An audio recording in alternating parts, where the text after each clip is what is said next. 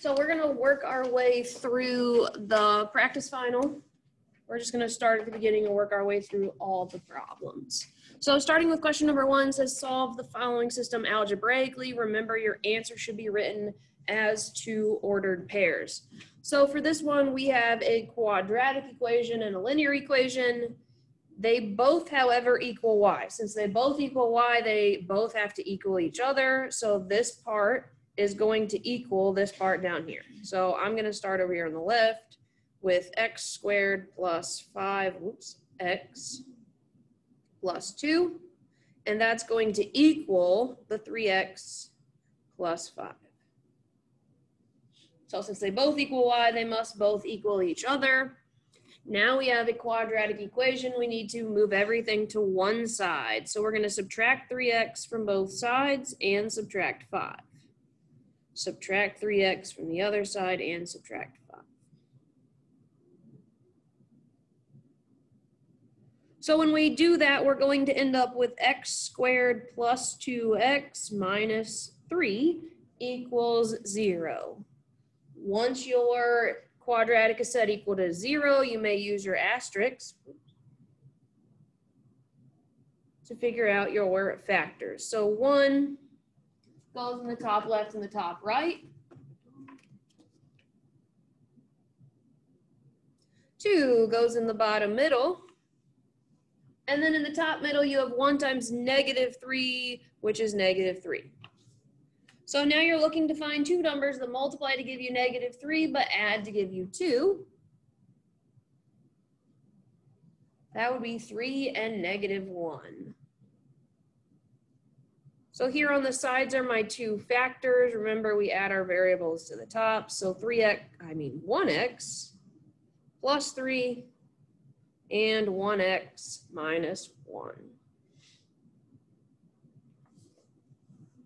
So there are my two factors. Once you get your two factors, again, they're being multiplied together and their product is zero. That means you use the zero product property to set them both equal to zero.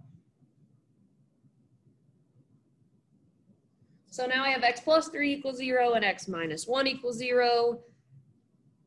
Figure out that x equals negative 3 and x equals 1.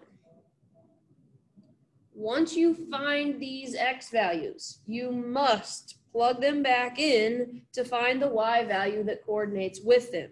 So for x equals 3, we're going to take that 3 and we're going to plug it in into the linear equation for the x. So y equals 3 times x, which we're plugging in negative 3 plus 5.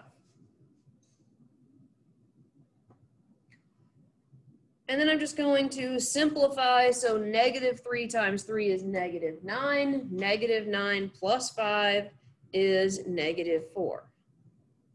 So we used an x value of negative 3. We got a y value of negative 4. So right here is one of my two answers. We're going to do the same thing with x equals 1. We're going to take that 1. You can plug it into either equation to find y, but the bottom one, the linear one, is going to be the easiest. So 3 times 1 plus 5.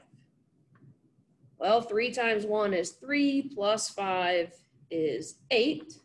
So for my second ordered pair, the x value was one, the y value we got was eight, which gives us the order pair one comma eight. So two answers in this case. Again, they're both ordered pairs.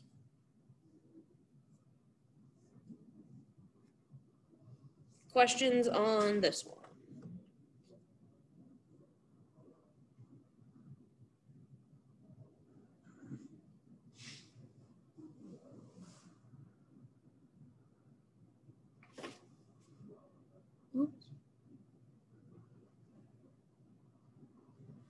Moving to question number two. Question number two is a composition of functions. Find f of g of 3. That means we're going to plug g into f. So we're going to take, oh, we're going to take this, all of that, and we're going to put it right there where that x sits.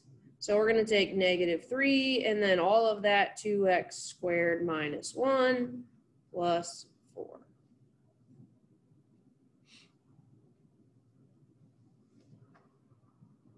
Then we're gonna distribute the negative three into the parentheses. So negative six x squared plus three. And then the plus four comes down at the end. Want to combine like terms here, so negative six x squared plus seven. This is as simplified as it gets, but if I look back at the original, I was told right here that I'm going to take my answer, get rid of the x's and replace them with threes. That gives me negative six times three squared plus seven. So we're taking that three and we're going to plug it in.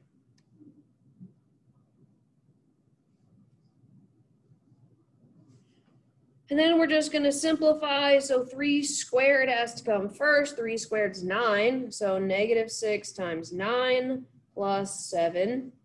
Well, negative six times nine is negative 54. And then negative 54 plus seven is negative 47.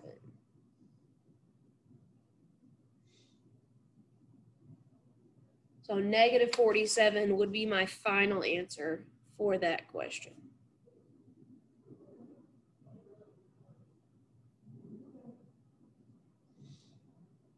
Question number three, is the relation a function, why or why not? In this case, it is not a function. Uh, about the easiest way you could tell me is that it doesn't pass the vertical line test. Yep, you could tell me that um, an X value has more than one Y value. There's more than one output for every or for some of your inputs.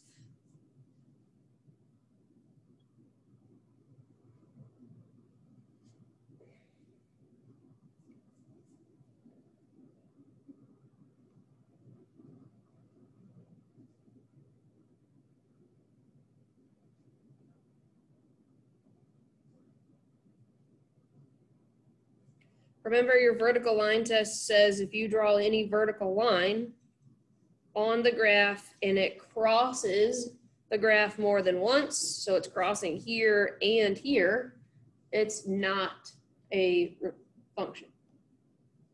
We always use the analogy of the pop machine. If I'm pushing the Pepsi button, I better get a Pepsi every time. Not sometimes I get a Pepsi, sometimes I get a diet.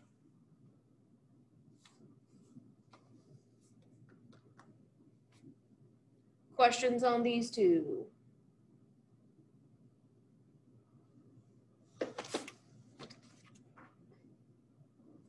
Question number four, we're asked to simplify.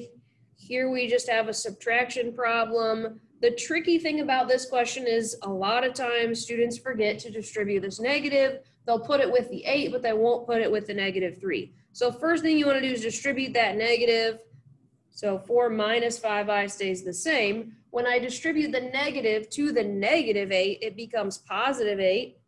The negative to the negative 3i becomes positive 3i. So we've distributed that negative from the middle and to both terms in that second set of parentheses. Once you get here, all you want to do is combine like terms. Well, I have four plus eight. These two terms get put together. Four plus eight is 12. Then these two terms get put together. Just because they're imaginary doesn't mean anything at this point. There's no i squared. You just want to combine them like you would negative 5x and positive 3x.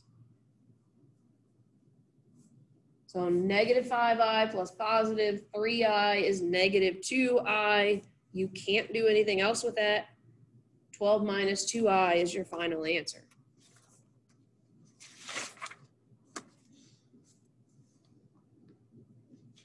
Questions on this one?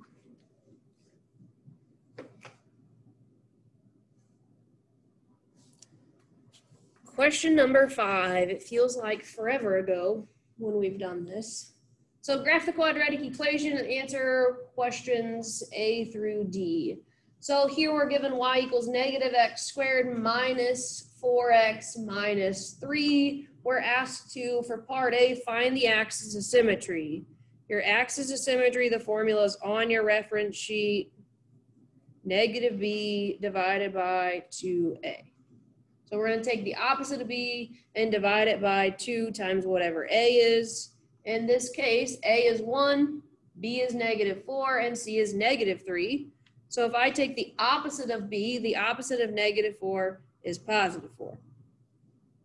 Divided by 2 times a, a in this case is negative 1. So when I simplify this, I have negative 2 on the bottom. 4 divided by negative 2 is negative 2. So my axis of symmetry is x equals negative 2.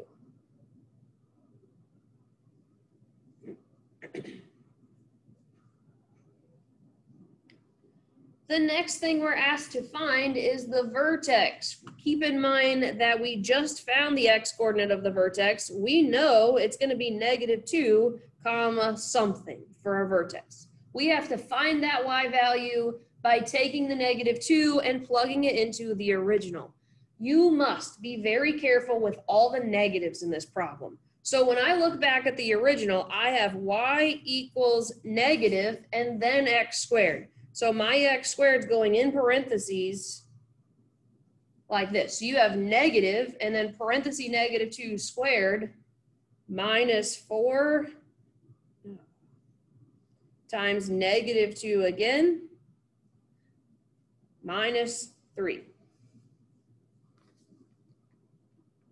So make sure you've got all of those negatives in there. You can type this in your calculator as long as you type it in exactly like we have it written. You should get a y value of 1, which tells us we have the order pair negative 2, 1 for our vertex. So negative 2.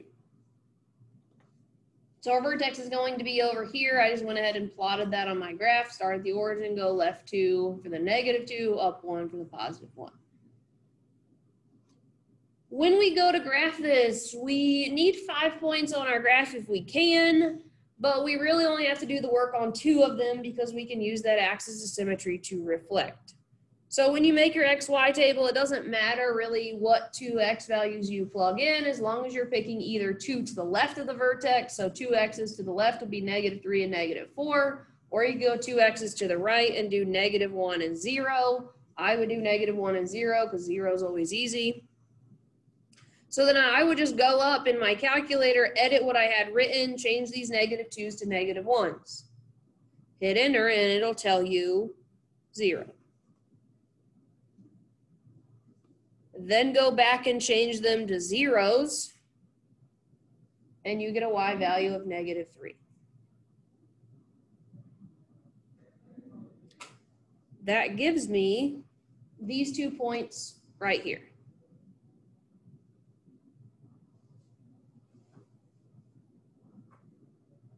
That's half of my graph. So keep in mind, here's my axis of symmetry.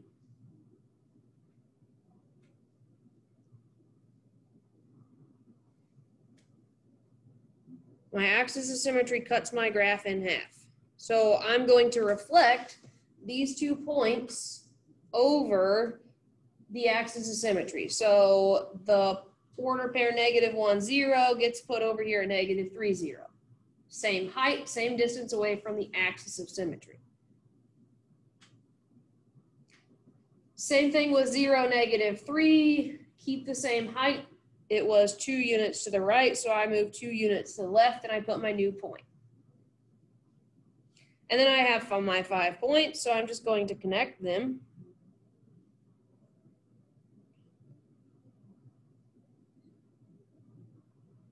Like this. The last thing we were asked for part D, we're asked for the zeros. The zeros just asking you, where does your graph cross the x-axis? So I cross the x-axis at negative one, and I cross it at negative three. You could tell me x equals negative one, x equals negative three. Do not list them as an ordered pair. You can't list them as negative three, comma, one, negative one, or negative one, comma, negative three. You have to list them separately. Questions on this one?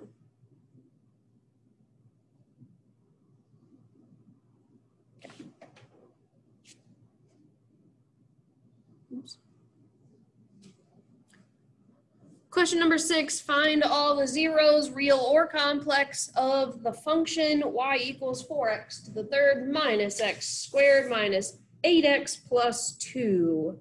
So first thing I notice when I look at this, I have four terms. Anytime I'm asked to find zeros, I'm asking you to factor. If you have four terms, you're going automatically to factor by grouping. Factor by grouping only occurs when you have four terms. Split it in half, take the greatest common factor of the left side, greatest common factor of the right side. So looking here, we have 4x to the third minus x squared. If I take, excuse me, the greatest common factor out, I can take an x squared out of the first two terms. When I do that, it leaves me with 4x minus 1. So if I take that negative x squared and I factor out an x squared, it just leaves me with negative 1.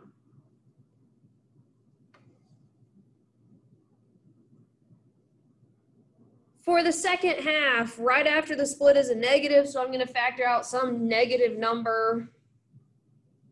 In this case, 8x and 2 are both divisible by 2, so my greatest common factor on the right side is going to be negative 2. So I'm dividing both terms by negative 2, so negative 8x divided by negative 2 is positive 4x. And then positive 2 divided by negative 2 is negative 1.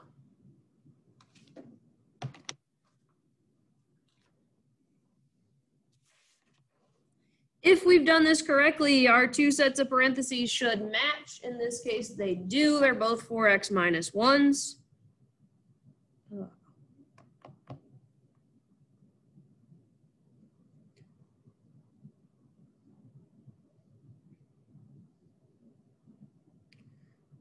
So we're going to bring down 4x minus 1 into one set of parentheses. In our other set of parentheses, we're going to write the greatest common factors together. So x squared minus 2.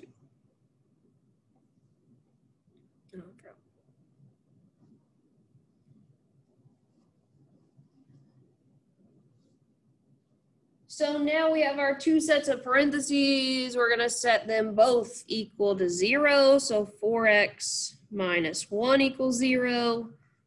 x squared minus 2 equals 0. So we're using that zero product property. Since they both multiply together and give you 0, one of them must, or both of them could equal 0. Solve them individually. So 4x minus 1 equals 0. Add 1 to both sides to get 4x equals 1.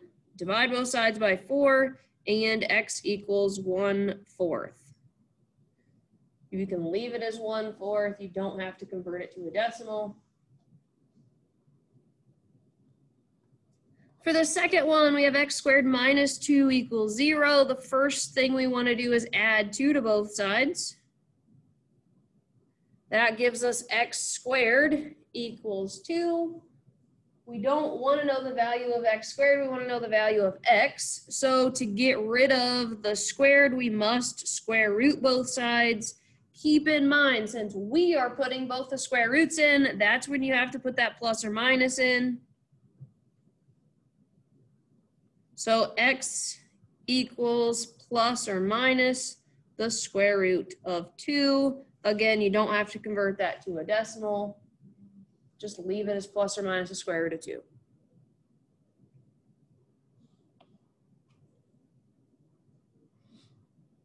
Questions on this one?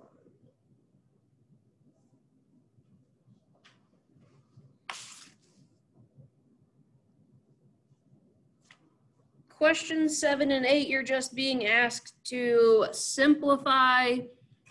For question seven, you have a quadratic on the top, quadratic on the bottom. But when you go to factor this, the first thing you always check for is a greatest common factor. Looking at the top, there is no greatest common factor, but when you get to the bottom, there is a greatest common factor. You must factor it out or you're gonna end up with the incorrect answer.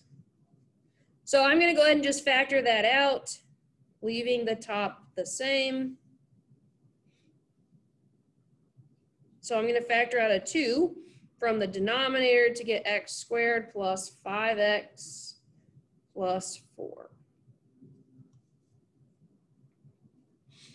Once you factor out that greatest common factor, then you can use your asterisk to factor the numerator and the new parentheses in the denominator.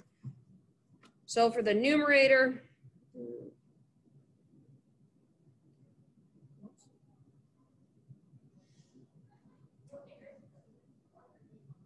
when I fill this out, I have one in the top left and top right. I have 13 in the bottom middle and 1 times 36, which is 36 in the top middle. So I'm looking for two numbers that multiply to give me 36, but add to give me 13. You should pick 4 and 9. 9 times 4 is 36. 9 plus 4 is 13. So now the numerator is going to be x plus 4 and x plus 9. For the denominator, we're going to take, bring the 2 down, and then we're going to factor what's inside our parentheses. So for my asterisks, I have 1 in the top left, 1 in the top right, 5 in the bottom middle, and 1 times 4, which is 4 in the top middle. Two numbers that multiply to give us 4 but add to give us 5, 4 and 1 which gives us x plus 4 and x plus 1. So cancel out the x plus 4s because they're the same in the numerator and denominator, giving us x plus 9 in the numerator, the 2, the greatest common factor we factored out earlier, and then the x plus 1 in the denominator.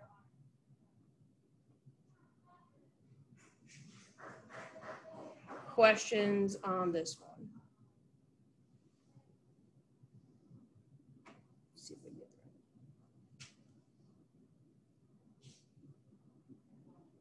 Question number eight is a box problem. I'm asking you to multiply 5 plus 4i times 7 minus 2i.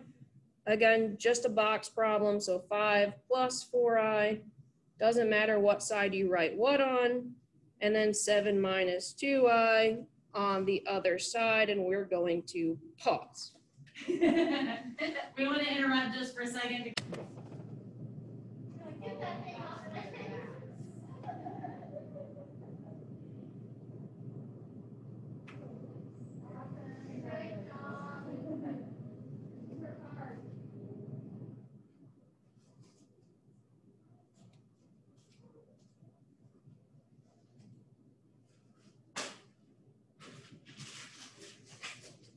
All right, so when we multiply these, we're just multiplying corresponding parts. So for the top left box, we're gonna take seven times five, you get 35. We're gonna take four i times seven to get 28i. We're gonna take five times negative two i to get negative 10i. The bottom right box is the tricky box. When we multiply negative 2i times 4i, we get negative 8 i squared. Remember, you're never allowed to give me an answer with i squared in it. You must take it out and replace it with negative 1. So in this case, negative 8 times negative 1, this box really holds a value of positive 8. The last thing you need to do is combine like terms here and here. So when I combine my like terms, I have 35 plus 8. 35 plus 8 is 43. And then negative 10i plus 28i is 18i. You're allowed to have i in your answer. You're not allowed to have that i squared. So final answer, forty-three plus eighteen I. Questions on this one?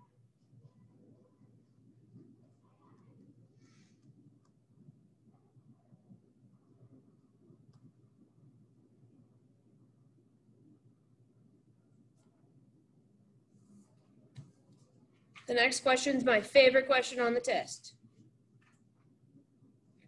Anybody know why it's my favorite?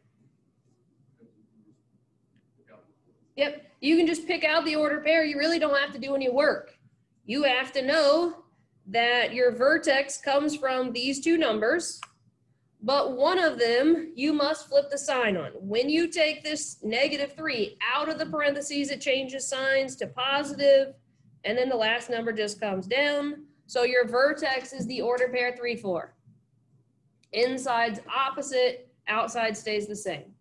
So the negative three becomes a positive three, and then the positive four comes down. Again, my favorite question because you don't have to do any work. You either know what you're doing or you don't.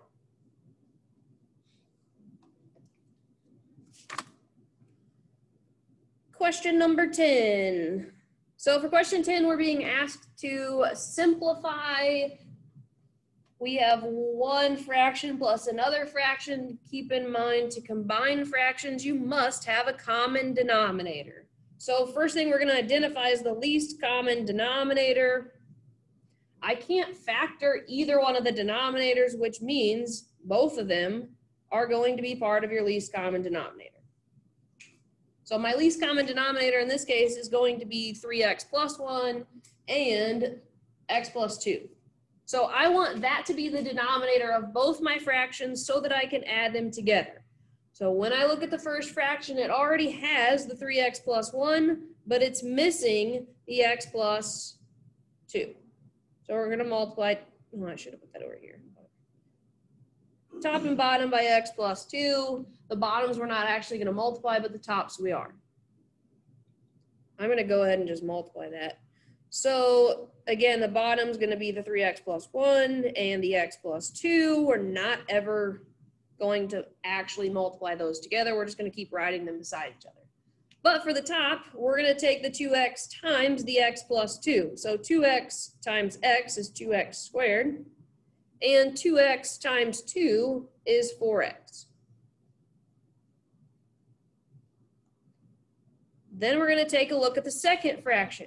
When I look at the second fraction and compare it to my least common denominator, it has the x plus 2, but it's missing the 3x plus 1. So we're going to multiply top and bottom by 3x plus 1. When we do this, this time we have two terms on the top times two terms from our least common denominator. Two terms times two terms means we want to box them together.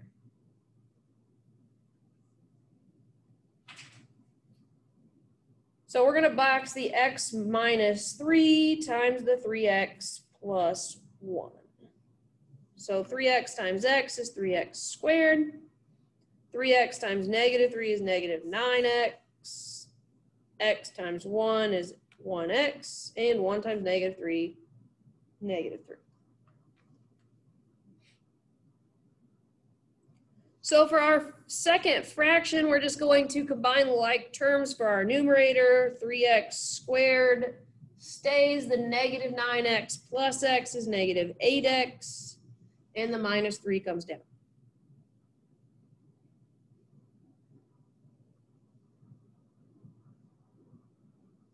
And then our denominator is just going to be that 3x plus 1 and the x plus 2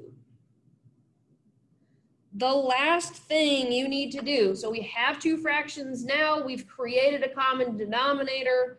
When you add fractions, you only add the tops together, keep the denominator the same.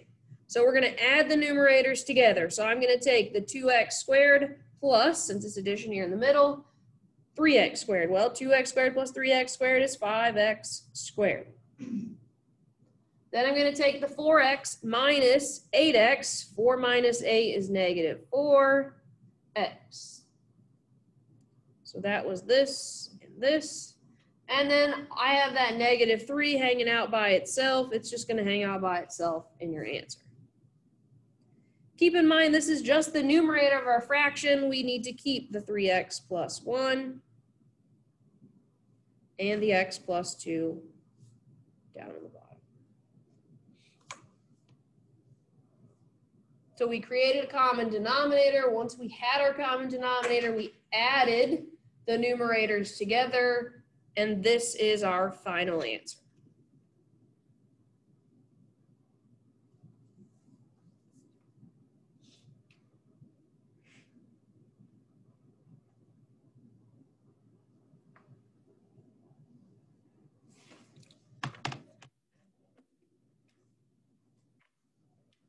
Questions on these two?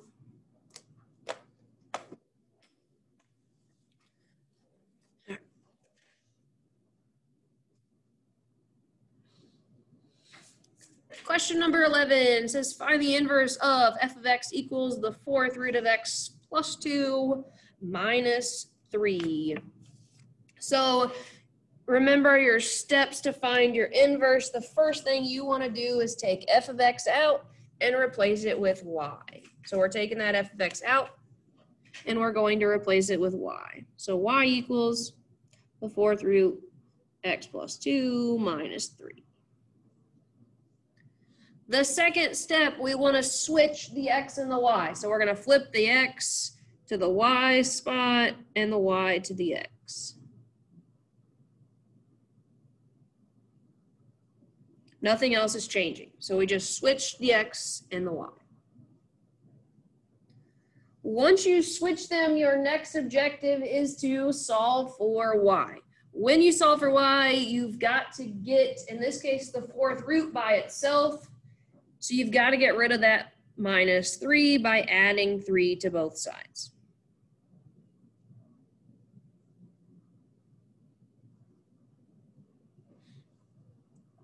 When we do that, the 3's cancel on the right, negative 3 and positive 3 cancel each other out. So now you have x plus 3 equals the fourth root of y plus 2.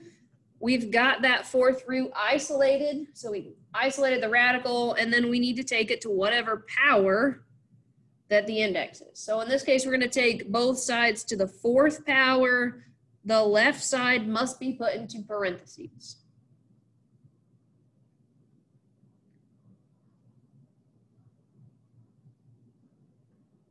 So on the left side, we have x plus 3 in parentheses to the fourth power. On the right side, the fourth root and the fourth power cancel each other out. They're inverses, like adding 2 and subtracting 2. So they just cancel each other out, leaving you with y plus 2 on the right side. The last thing you need to do in this case to get y by itself, subtract 2 from both sides. When you subtract 2 from that left side, you cannot subtract it from the 3. So the 3 is involved in the parentheses. You're going to leave it in there. You're not going to touch it. The minus 2 just hangs out at the end. So in parentheses, x plus 3 to the fourth. The minus 2 hangs out at the end. And then the last thing, you want to write it in inverse notation. So f inverse of x equals, in this case, x plus 3 to the fourth power minus 2.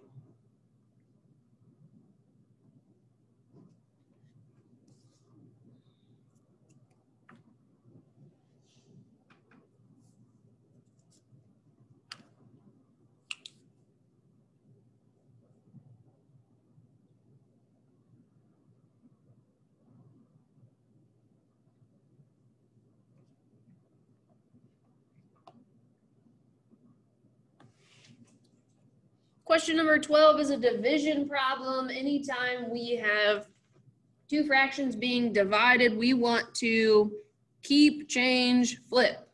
We're going to keep the first fraction the way it is. We're going to change the sign from division to multiplication. And when we do that, we have to flip that last fraction.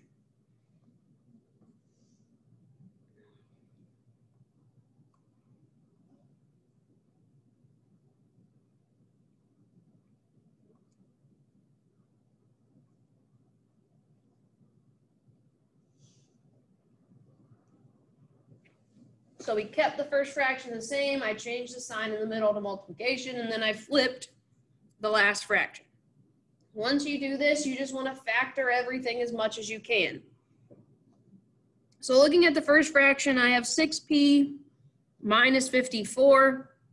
I notice that both terms are divisible by 6, so they have a greatest common factor.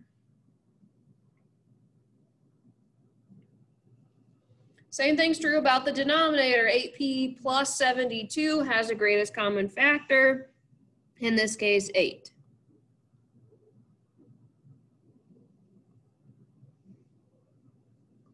When I look at the second fraction, the numerator is just p plus 9. I can't do anything with that.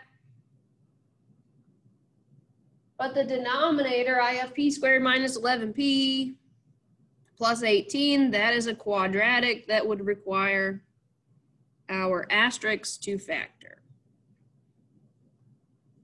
So 1 in the top left and top right, negative 11 in the bottom middle, and 18 times 1, or 18 in the top middle. We're looking for two numbers that multiply to give us 18, but add to give us negative 11. Negative 2 times negative 9. So in our fraction, we're going to have p minus 2 and p minus 9. Now that we have everything factored, we're going to go through and cancel anything that's the same in the numerator and the denominator. So I'm going to cancel the p minus 9 with the p minus 9. It doesn't matter that they're in different fractions because one's on the top and one's on the bottom. Same thing's true with the p plus 9s. You also have a 6 and an 8 sitting out front that need reduced. I can divide 6 and 8 by 2, so that's going to become 3 over 4. So don't forget to reduce the 6 and the 8. So then when I write my answer, my final answer is going to come from what didn't get canceled out. Well, looking at the top, the only thing we didn't cancel out was the 3. On the bottom, we still have a 4, and we have a p minus 2. When you get to this point, double check your answer to see if it reduces any further. Well, 3 over 4 doesn't reduce. I have nothing to cancel the p minus 2 with, so that is my final answer.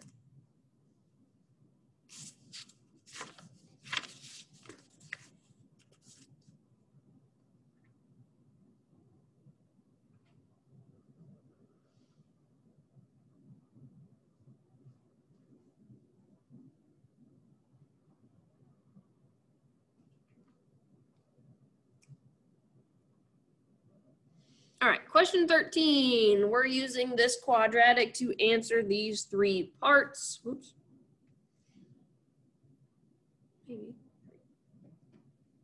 So we were given 3x squared minus 2x equals negative 5. Before you begin, you must get 0 on one side. So I've got to get rid of that minus 5 by adding 5 to both sides. So really, I'm using 3x squared minus 2x plus 5 equals 0 for this problem. Part A says, what is the discriminant? The discriminant is the portion of your quadratic formula that's underneath the square root, the b squared minus 4ac. So I'm going to compute b squared minus 4ac. So negative 2 squared minus 4 times 3 times 5.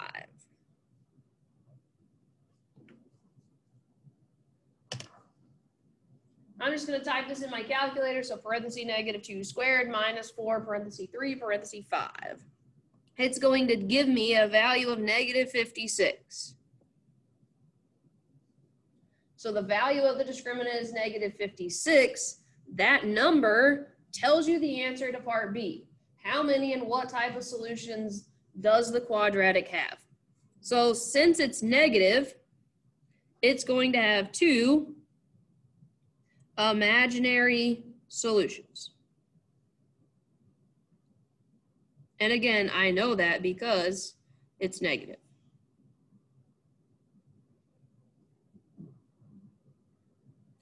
Remember, if we would have gotten a positive we would have written two real solutions. If you would get zero, it would be one real solution. So there's only three options there, two imaginaries if you get a negative number, two reals if you get a positive number, and if you happen to get zero, it's one real. And then solve using the quadratic formula. Quadratic formula x equals negative b. So opposite of negative 2 is positive 2, plus or minus the square root. Remember, we've already found the number that goes underneath the square root. We already calculated b squared minus 4ac to be negative 56. All divided by 2 times a, which is 3. So this part shouldn't take you really long because you've cut out part of the work in part A. So then we want to simplify this.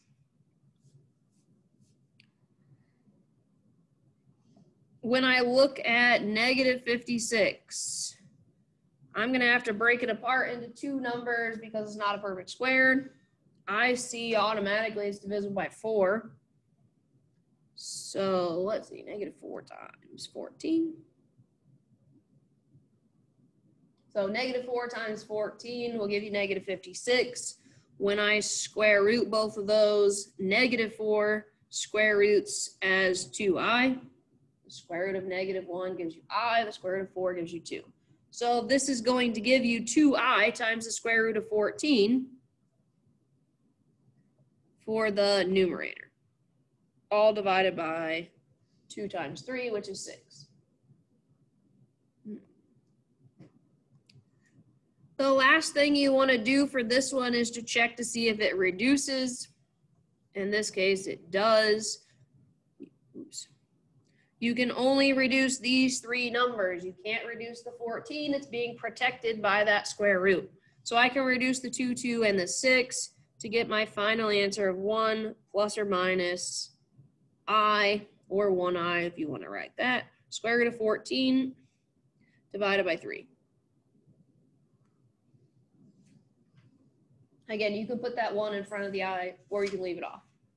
I and one I are the exact same things.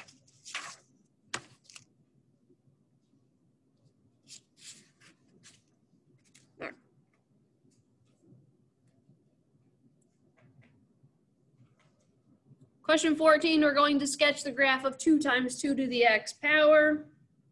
We're always, always, always using the same 5x values to do this. So I've given you a table. The x values you're going to use negative 2, negative 1, 0, 1, and 2. So in your calculator, 2 times 2, caret key, and then you're plugging in each of these numbers. You should have gotten 0.5, 1, 2, 4, and 8.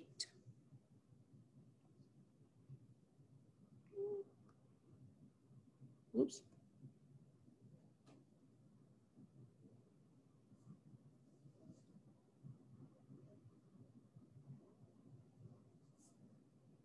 So when you graph this, your graph should look like this. Make sure that your graph does not cross the x-axis. You're not going to ever get a negative y value for this problem. Then you have to tell me whether this growth or whether this graph represents exponential growth or exponential decay. Yes, it is growth.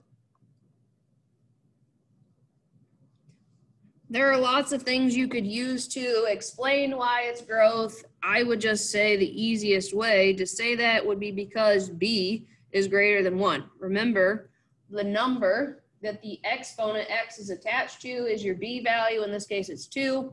It's greater than 1, so it's growth. Then you're asked for your y-intercept. Just go to your y-axis and see where your graph crosses. In this case, it crosses at 2, or you could write the order pair 0, 2. Either way works. So we just did that last week. Should be fresh in your mind. Question 15, write a new equation if the graph of f of x squared has a vertical shift of 4 and a horizontal shift of negative 1. So you've got to be able to identify which one of these numbers is telling you up and down and which one's telling you left or right. So vertical is going to be your up or down. Horizontal is going to be your left or right. In this case, vertical, your up or down stays the same. So you're going to have a plus four. That plus four is going to go out at the end. So we're going to have y equals x, something on the inside. So that plus four goes out here at the end. For my horizontal shift of negative one, negative one tells me I want to go left one, maybe. But this one is the opposite. So when I write this on the inside, I want the opposite of negative one, so positive one. So I'm gonna have x plus one in parentheses squared, plus four out at the end, which is letter A. Again, another one of those problems where really you wouldn't have to show any work.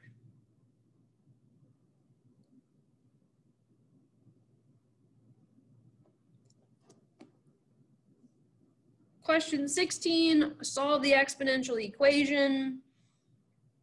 To solve this, you're going to want to get like bases. The left side has a base of three. I can't really rewrite three any smaller, so I'm gonna leave the left side alone. And I'm gonna see if I can write 27 as three to the something power. Conveniently, three to the third power is 27. So I've changed the way 27 was written. And then I'm going to cancel my bases. So now I have 3m minus 2 equals 3. So now we have just a basic equation to solve for m. Add 2 to both sides. So 3m equals 5. Divide both sides by 3 and m equals 5 thirds.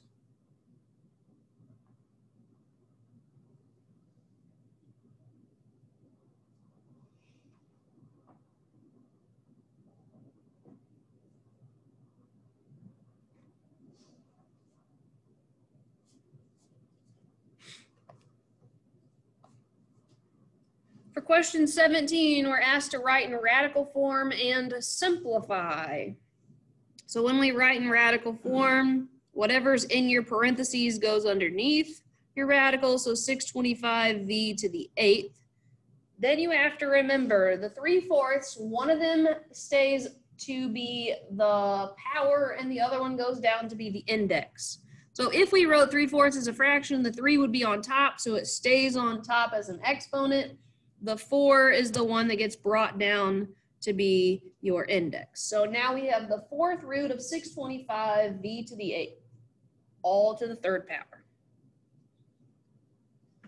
So to evaluate this, we need to first figure out the fourth root of 625. So in your calculator, you want to compute the fourth root of 625. When you do that, your calculator is going to tell you 5 because 5 times 5 times 5 times 5 is 625. For the v to the 8th, if I want the fourth root of v to the 8th, it's like me saying I have eight people and I want to put them into groups of four. Well, if I put them into groups of four, I'm only going to have two groups. So you're really just dividing 8 divided by 4 gives us that 2. That all stays in parentheses because it still needs taken to the third power. So I need to compute 5 to the third power, 5 times 5 times 5, 125. And then v squared to the third, we divided to get the exponent out of the radical, and now we're going to multiply 2 times 3 to get 6. Final answer, 125 v to the 6. you tell me how to calculate the, from the very beginning again? Like how to put it in your calculator? Yeah. So for your calculator, you're gonna hit 4 the second button, the caret key, six twenty-five equals.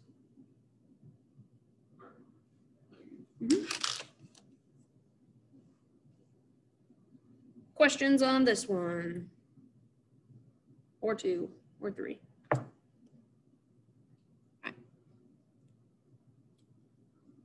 Questions 18 and 19, we're just expanding and condensing some logarithms. So just remember those rules. They're at the bottom of your reference sheet. I'll just go ahead and attach a reference sheet to the back of your test for your final, so you've all got it.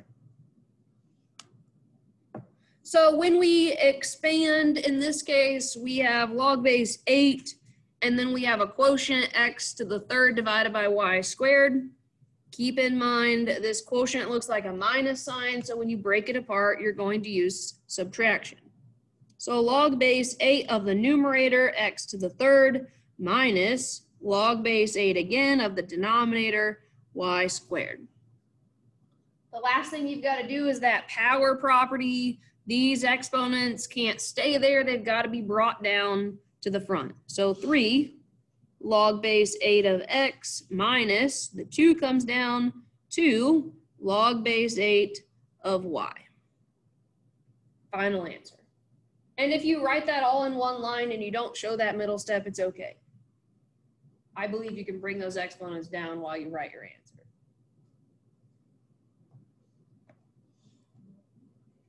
For question 19, we're asked to do the exact opposite. We're condensing when you condense, the first thing you've got to get rid of any number sitting out in front of your log using the power property. So log base 3 of m to the fourth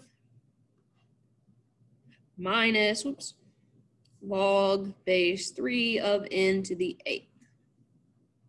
So we move those numbers out front up to be exponents. And again, since we have subtraction in this case, we're going to combine using the quotient. So log base 3 of m to the fourth divided by n to the eighth would be my final answer.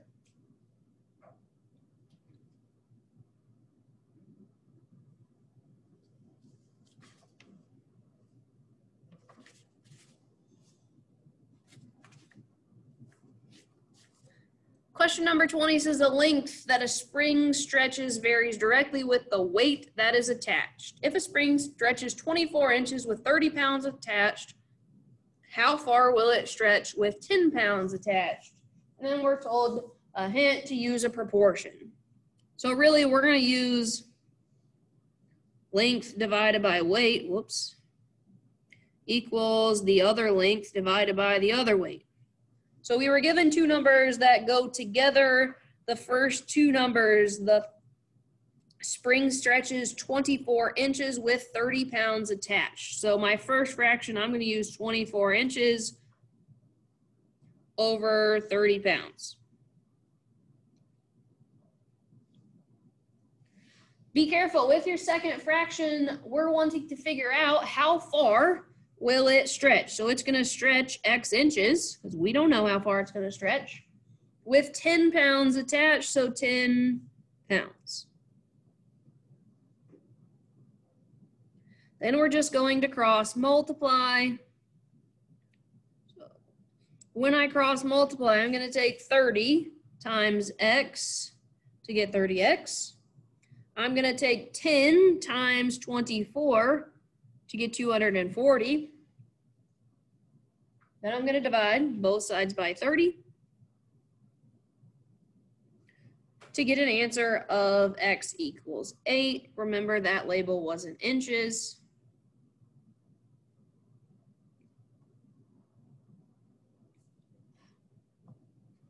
So given the information that we were given, we would expect the spring to stretch eight inches with 10 pounds attached to it.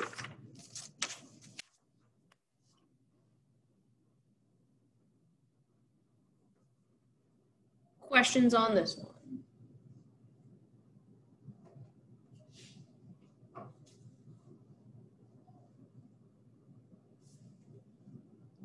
Question twenty-one says, write the following equation in logarithmic form. Once you write it in log form, you're done. You don't have to evaluate anything. So I'm going to label my parts. This is, whoops, b to the x power equals y, and we want to rewrite it as log base b of y equals x. So we're going to rewrite according to this, which gives me log base 3, because 3 is b, of y, which is 81, equals my exponent, or my x in this case, 4. That conversion again is on your reference sheet that I'll attach to your final. All you have to do is rewrite it. You're not doing anything else with it.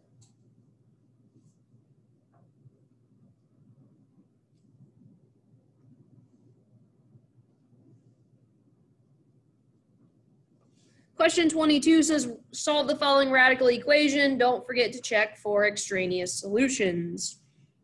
So here, to solve your logarithmic equation, the or your radical equation, sorry, I don't know why I said that. So first thing you want to do is isolate the radical. You want to get the square root, in this case, by itself. Well, in this problem, there's nothing in front, underneath, or behind the radical, so it's already isolated for you. Once it's isolated, you want to eliminate it. To eliminate a square root, you're going to square both sides. So squaring our square root on the right side is going to cancel, leaving you with 31 minus 2n on the right side. The left side is where students tend to goof. So we're taking n plus 2 times n plus 2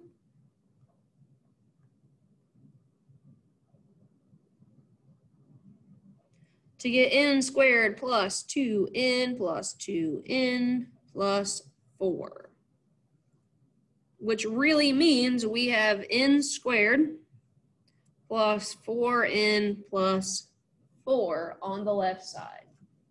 So a lot of times students will square the n and square the 2, and they miss that middle term there with the 4n. So I'll just do a little box problem, n plus 2 times n plus 2 over to the side. Then I notice we have a quadratic. Anytime you have a quadratic, you're going to try to move everything to one side and factor. So we're going to subtract 31 and add 2 into both sides.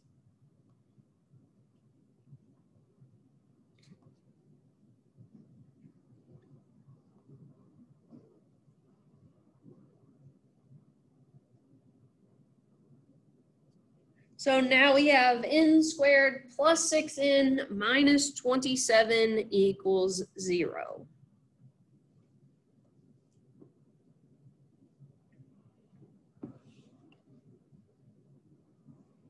We're going to use our asterisks to factor this. A value is 1, so 1 goes in the top left and the top right.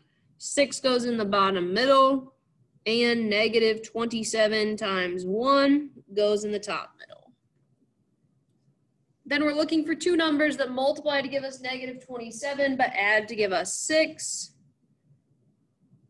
negative 3, and positive 9.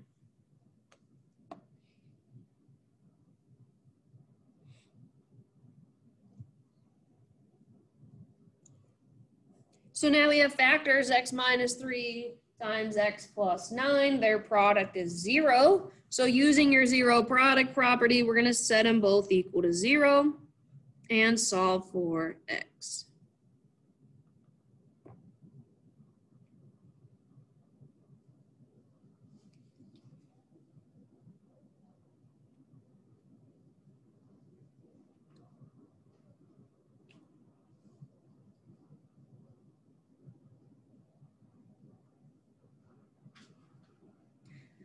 Make sure when you get down to the end, you've got to go back to the original and check to make sure these both work. So if I check three,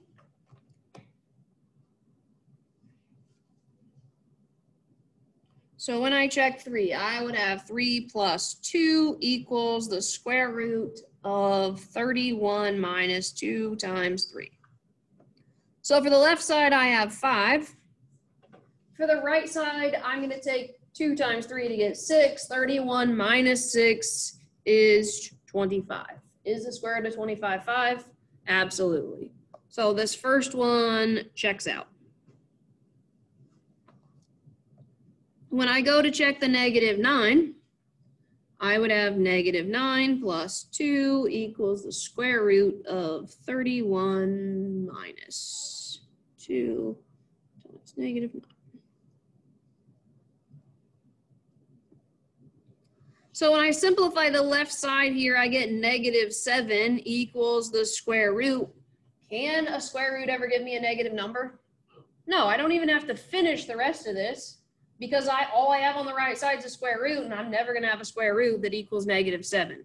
So this one's not going to work.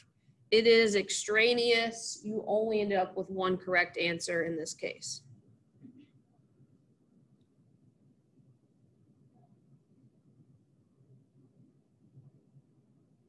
Questions on this one?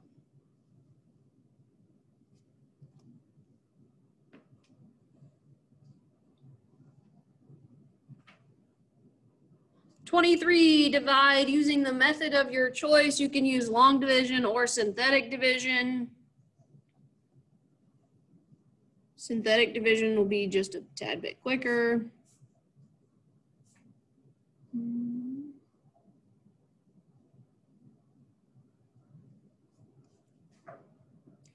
So keep in mind to find our magic number out here,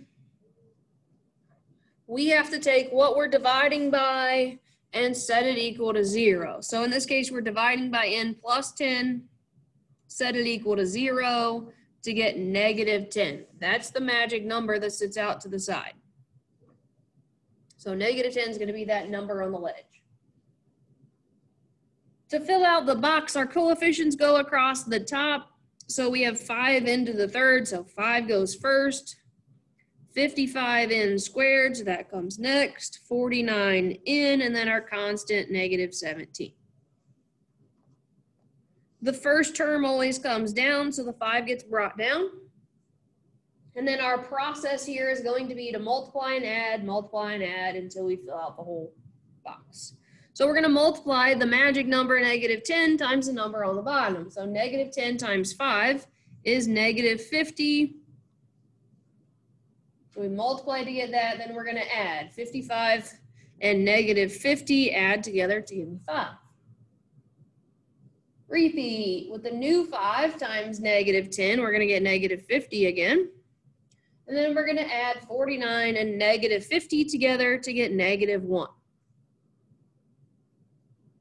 multiply the negative 1 times the magic number negative 10 to get positive 10, and then add negative 17 plus 10 to get negative 7. Hard work's done. Now we just get to use this bottom row as the coefficients for our answers. The last number is going to be our remainder.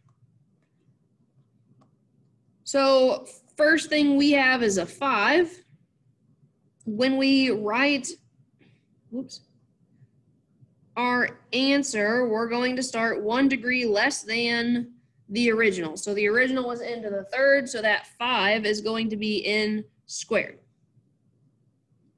Plus 5n for the next term, minus 1, and then your remainder, negative 7 divided by n plus 10.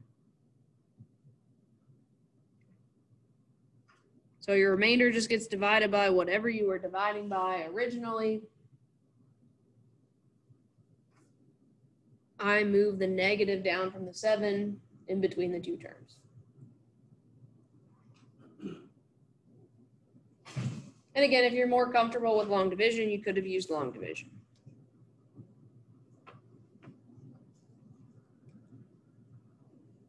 Question 24, use the expression below to write your answer for parts A and through C. So what is the complex conjugate?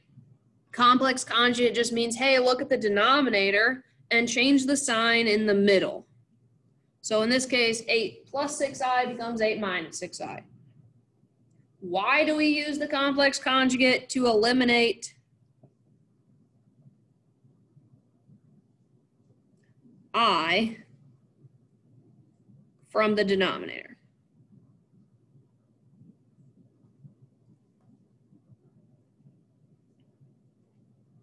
So our whole objective is to eliminate I from the denominator.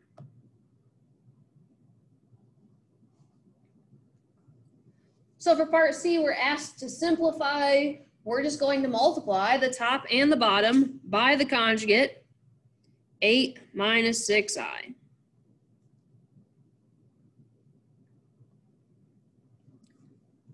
The top's the easy part. All you have to do is distribute.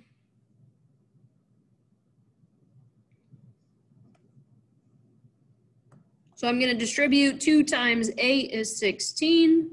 2 times negative 6i is negative 12i.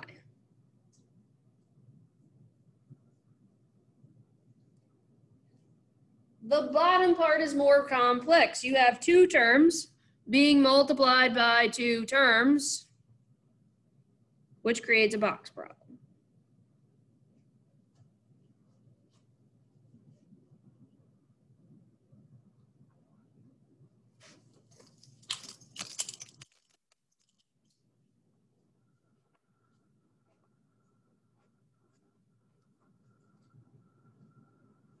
So in my box, I'm gonna multiply corresponding pieces. So eight times eight, 64.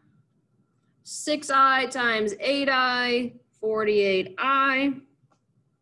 For the bottom left, negative six I times positive eight I, negative 48 I. And then the tricky box, because you have I times I to give you I squared.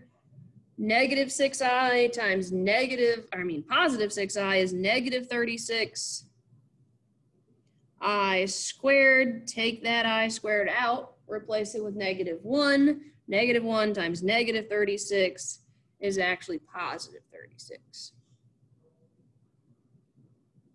So then when I go through and combine like terms, if you've done this correctly, your i's should cancel each other out. Positive 48i and negative 48i cancel. So for the denominator, you're really just going to add 64 plus 36, which gives you 100.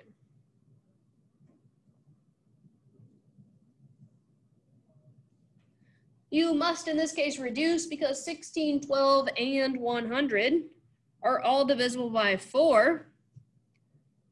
That gives you 4 plus, I mean minus 3i divided by 25 for your final answer.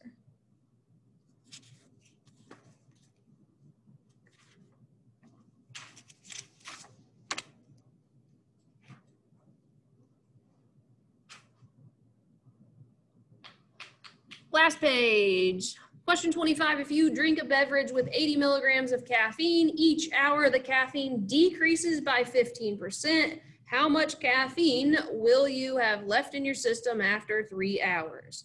So this is talking about that exponential growth or decay. Every hour, that caffeine is decreasing by 15%. So remember, you've got to find your growth or decay rate, decide whether you're using one plus or one minus.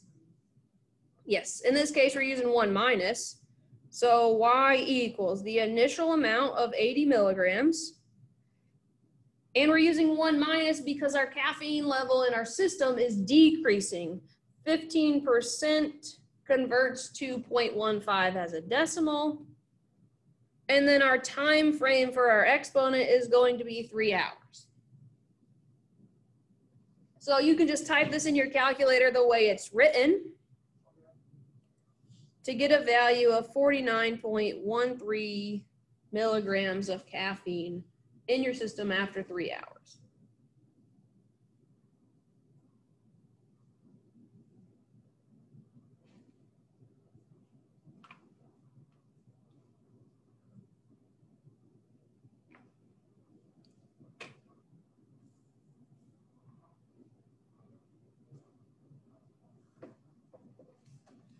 All right, question 26. A foul ball leaves the end of a baseball bat and travels according to the formula h of t equals negative 16t squared plus 80t. h represents the height of the ball in feet, t is the time in seconds. how long does it take the ball to reach a height of 96 feet in the air? So what they're giving you here with the 96, you have to decide whether it goes in here or if it goes in here and here. So you have to decide, is that a height or is it a time? Most definitely a height. So you're plugging it in right here for h of t. So the height at time t happens in this case to be 96. So we're going to have 96 equals negative 16t squared plus 80t. Again, a quadratic, you're always going to want to get zero on one side. So subtract 96.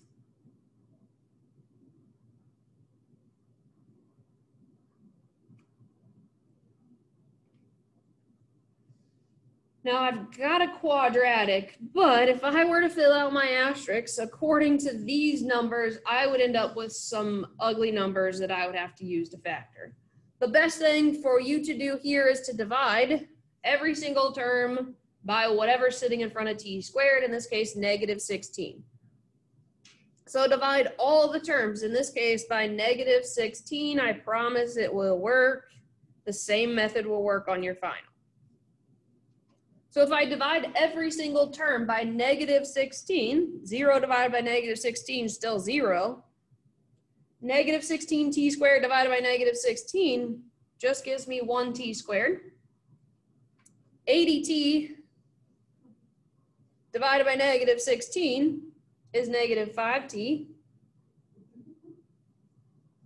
Negative 96 divided by negative 16 is positive 6. And now these numbers are much easier to put into your asterisks. So instead of having huge numbers, now you're looking for two things that multiply to give you six and add to give you, whoops, negative five. Negative two times negative three. Oh, I guess t.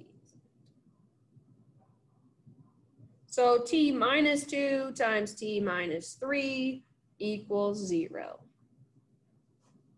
Use your zero product property to determine what t equals. Whoops.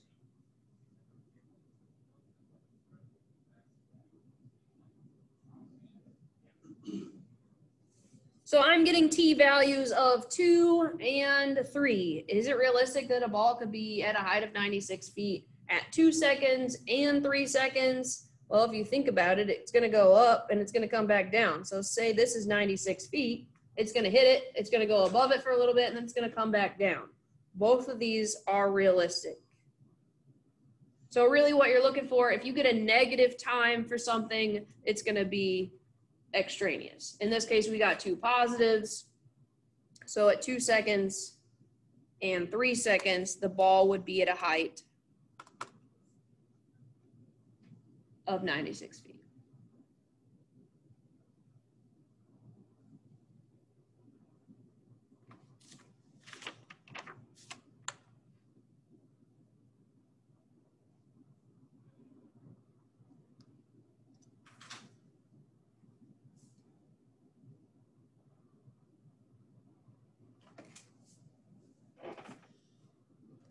So last two questions are some older review. We're gonna go over them. You should have seen these before in the past. If not, they're really pretty simple. So question 27, we have a bag that contains six black marbles and four white marbles. Sarah randomly selects one marble, puts it back, and then randomly selects another. What is the probability that both selections were black? So there are six black marbles in the bag. So six out of, there's a total of 10 marbles in this case. So the first probability, if she picks a marble, she's got six out of 10 chance of selecting a black marble. But then Sarah's gonna do it again. So Sarah's gonna take and put that marble that she first drew, put it back in there. So then she's gonna repeat the process. She's got again a six out of 10 shot of getting a black marble. So really all we need to do is multiply these two together, six tenths times six tenths. Six times six is 36, 10 times 10 is 100. that actually reduces to nine twenty-fifths. So she's got a nine in twenty-five chance that she picks two black marbles in a row.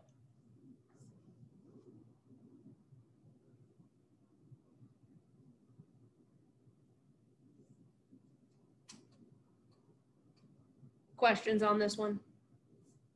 So the question on your test would be really similar. They might not be black and white marbles. They might be yellow and green.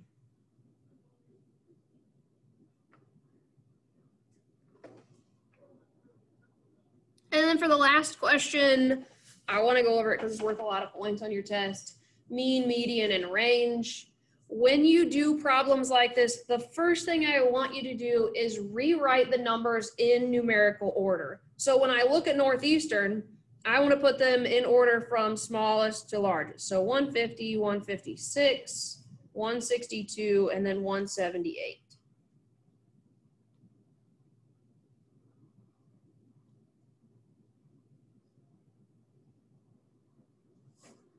So to calculate your mean, mean is just a fancy way of saying the average. To find the average, you're going to add all the numbers up and divide them by however many numbers there are. In this case, there's four numbers. Add them together, you get, whoops, 646. I'm going to divide that by four because there's four numbers. And that tells me that the mean is 161.5.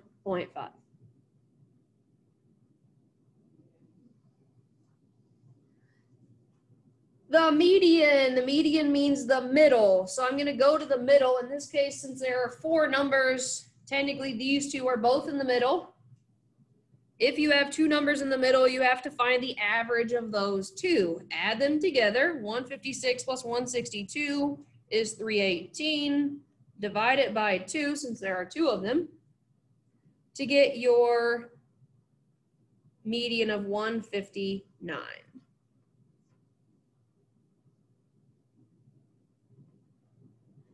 And then your range, you're talking about the difference between the smallest value and the largest value. So you just take the largest value, the last number on your list, and you subtract the smallest number on your list. And that's going to tell you the range, in this case, 28.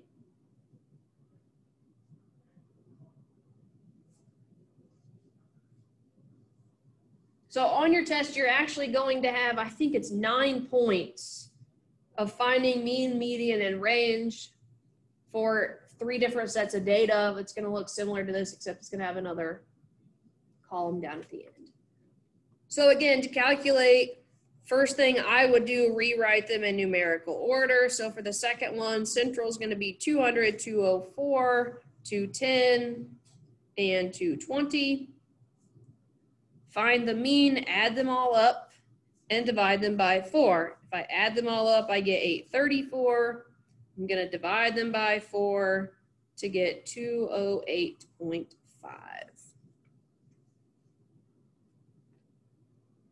And again, since we had an even number of data points, to find my median, it's going to be the middle two. I'm going to add them together and divide by two. So 414 divided by 2 gives us 207. If on your test you were given five numbers, you would just pick the one in the middle and you wouldn't have to do that step. So if there's an odd number, you just pick the number that's directly in the middle. And then the last one for your range, you're going to take the largest number minus the smallest number. So 220 minus 200 is just 20. So our range for that last one, just 20.